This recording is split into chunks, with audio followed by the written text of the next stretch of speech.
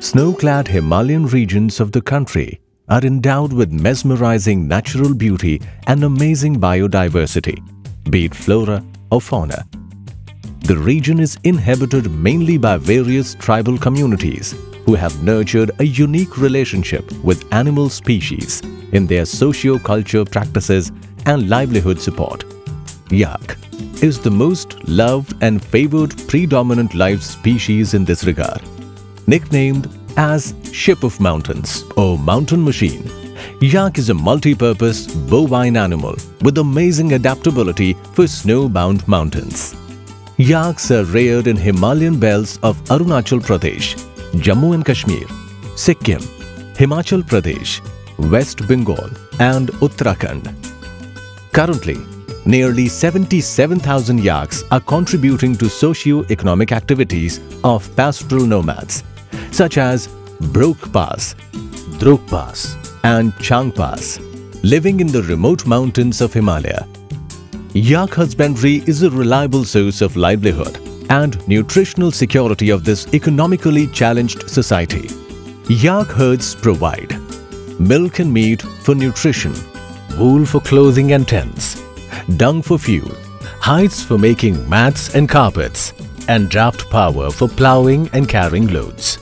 Yak possesses some remarkable physical and physiological attributes such as ability to sustain severe cold up to minus 50 degrees Celsius, travel comfortably on snow-bound steep hills, hence useful for transportation, live in low oxygen that is under hypoxic conditions, survive in very low, almost zero feed inputs, and graze at 6,000 meters above sea level.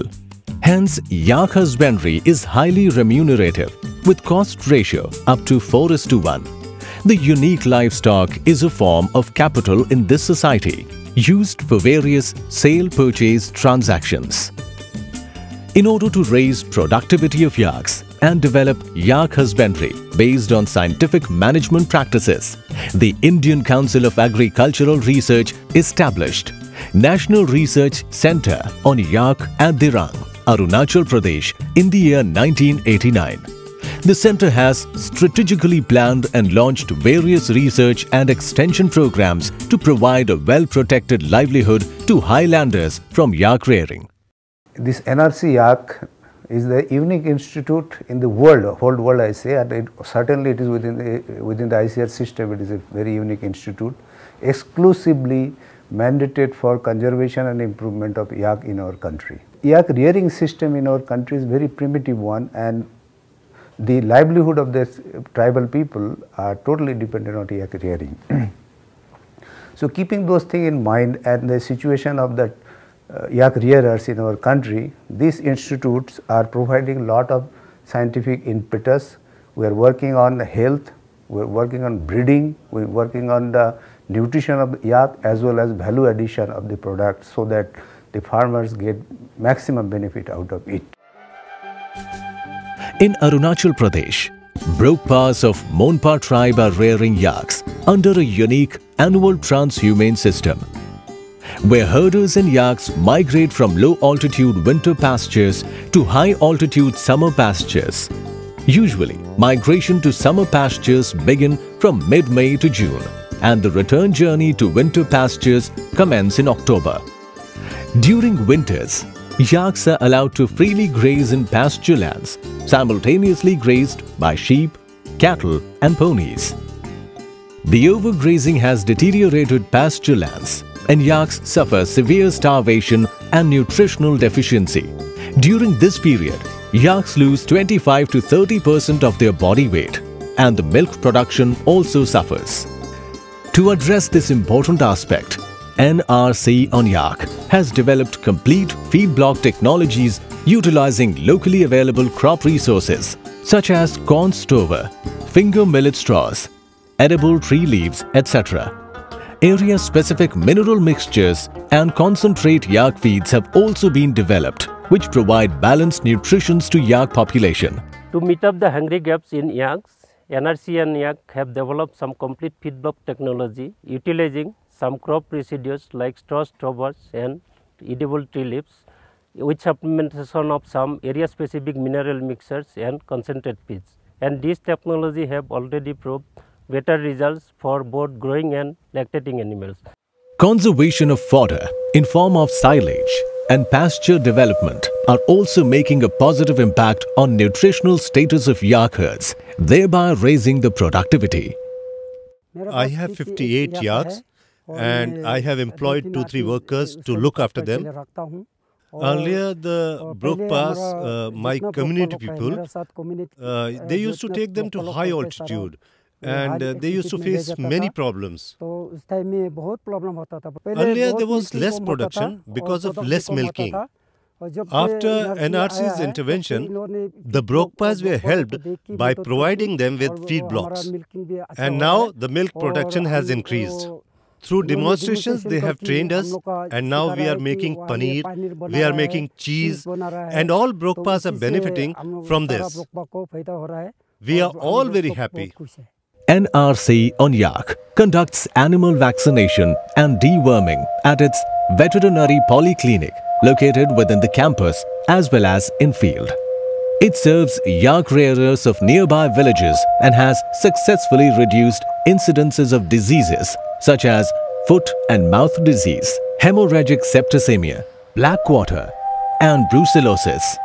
Adoption of deworming measures as per schedule save yaks from deleterious effects of roundworms, liver flukes, and tapeworms. Measures for control of common external parasites are also disseminated to yak herders. Many of the diseases occurring in cattle may be also transmitted to the yak due to the sharing of common grazing ground during the winter season, due to scarcity of feed and fodder, and also due to the breeding of yak with deworming and vaccination is to be done regularly in the field as well as in the farm to save the yaks from the deleterious effects of the parasites and also to save the yaks from uh, various diseases like HS, BQ and FMD. Our institute has been successfully conducting this program in the field as well as in the farm. A healthy yak herd is the prime wealth and asset of the nomadic community. But to improve productivity and reproductive efficiency, it is essential to exchange the bull of the herd with other herds at least every two years. Otherwise, inbreeding occurs in the herd, which reduces variation, performance and other useful characteristics.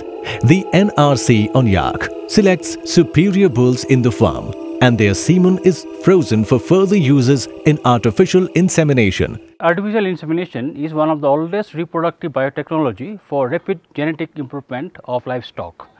In yak also this technique can be readily used and it is said that inbreeding is one of the important cause of declining yak population. Therefore, we can use this technique for genetic improvement of these animals. This is the only center in the country where yak semen is collected and cryopreserved. We have already given yak semen to the states like Jammu and Kashmir and to Sikkim. We are also trying to collaborate with other yak rearing states like Himachal Pradesh and Uttarakhand and we are trying to transfer the technology to those states also. Technology of AI has been standardized and the services are provided to yak herders within 12 hours of heat. A single ejaculation inseminates only one cow, where 200 cows can be inseminated by AI. My yak got artificial insemination here in this center. The baby yak born by AI was very healthy and good. When it grew up, it started giving more milk, which increased our income. I told other yak owners of my village to bring their yaks to this center for AI. It's very good. Moving further, the center has developed and standardized embryo transfer technology and in vitro fertilization techniques to address the issue of conservation and multiplication of superior germplasm of yak. A calf was born for the first time through embryo transfer technology in 2005 and was named as Mismo. Another calf was born in the year 2013 by using IVF technology and it was named Norgyal. These achievements are promising a bright future for yak rearers by raising productivity and profitability. In this lab, we are trying to conserve the superior germplasm of yak, which is very important when we are talking about the field perspective. And we are developing here in vitro embryos and we could get a success in developing first IVF calf in the globe and with this success now we want to take this technique to the field so that farmers can be benefited at the most and this technique can be a boost in the future. Traditionally, Brokpas prepare butter or mar, wet cheese, hard cheese candy or churkam, cheese stored in animal hide or churthang, and paneer or prum from yak milk. They have their own age-old production techniques, which generally lack efficiency and desired quality. Similarly, Brokpas sell fresh yak meat, dried meat and smoked meat in local downtown market or barter for consumable items like salt, rice, etc. Production technologies have been improvised and value-added products of milk and meat have been developed, which have good market opportunities. Traditionally, caps, coats, ropes, tents and mats are prepared from yak wool and fibers. But technologies for preparation of yak hair fiber and jute blended fabrics and yak and sheep wool blended woolen clothings, foot mats and wall hangings have been developed and demonstrated among farmers and prospective entrepreneurs. Not many people are aware that yak has two kinds of hair, an inner fine hair and an outer coarse hair. Inner fine hair is used for making garments, but the outer fine hair is used for making only robes, uh, traditional cap and uh, tents and most of it is wasted. The farmers just throw it. So what this institute is doing is we are buying those waste fibers from the farmers and in collaboration with National Institute of Research on Jute and Allied Fibers, we are blending it with jute and value addition of that we are doing. So in this institute, we have installed a fabric forming unit and a garment making unit and thereby we are giving uh, training to the farmers of this area and trying to bring up some entrepreneurs who will use these wasted fibers and make a living out of it. Production technologies are getting good response and favor, especially from youth who have been earlier relinquishing yak rearing due to low profitability. Market linkage support is also provided to entrepreneurs. ICAR NRC on yak centers for training to make coat, jacket, cap, etc. from yak wool at ICAR NIRJAFT, Kolkata. The product made from yak wool and jute, such as jacket, bag, file folder, are very much useful for our Monpa people. I'm very much benefited from such training and recently signed MOU with ICAR NRC on yak to make these products independently. Yak-based ecotourism is another untapped opportunity for youth to raise their income. NRC on Yak is committed to raise socio-economic status of yak herders across the country and rejuvenate yak husbandry with technological interventions. As such, it envisions less number of yaks with higher productivity, designer yak population and smart marketing of yak products in accordance to the dynamic demand of the society. NRC on Yak has all the high-tech instruments to carry out advanced genomics works. In recent times, scientists of this institute has made a breakthrough in yak genomics for differentiation of fertile and subfertile yak bulls through identification of yak MSY genes and by working out expression profile of miRNAs. Animal genetics and breeding is the major component for yak research. There are two parts in this research actually one is animal genetics and other is breeding. For breeding actually we look into the physical and morphological characters for the yaks and for the first time we have breed descript for the Arunachali yak and this has been submitted for a Arunachali as a breed. And second part uh, genetics part. Genetics parts we do high in work, high in genomic works like sperm transcriptomics, identification of Y chromosome and different gene discovery for the yak. For transcriptomic parts, we have already identified some marker from yak bull which are used for the identify fertile and subfertile bull. And for the identification of Y chromosome, this is we are very lucky. This work has been already like written in the Prime Minister two years achievements. We identified 12 gene for the yak.